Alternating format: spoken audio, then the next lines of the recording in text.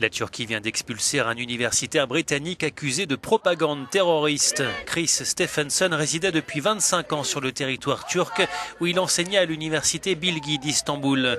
Il avait été interpellé mardi alors qu'il était venu apporter son soutien à trois universitaires turcs récemment arrêtés pour avoir signé une pétition accusant l'État de massacre anti-kurde.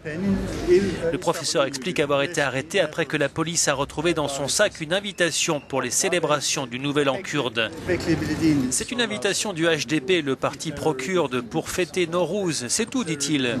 Ils m'ont posé les questions que vous pouvez imaginer. Est-ce un tract d'une organisation terroriste? J'ai dit non, je ne soutiens pas le terrorisme. Je soutiens la paix, toujours.